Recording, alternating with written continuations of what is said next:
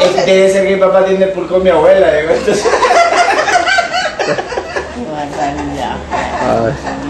Y hasta, hasta la mencionaron, dice, qué buen hijo, y se anda con su mamá. De una, Solo faltó que no enfocaran, ¿verdad?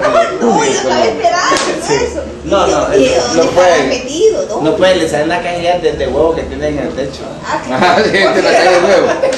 Sí, Se vio, tío. sí, sí. El estudio. Está grande Ah, aquí. sí, por eso no lo enfocaron. No querían ver la caída de Es que es una cosa para el sonido, eso. Sí, algo para Ah, la- va el sonido. No, diciendo, para dije, No, son esas que estaban ahí, ¿Verdad que son cajillas de huevo.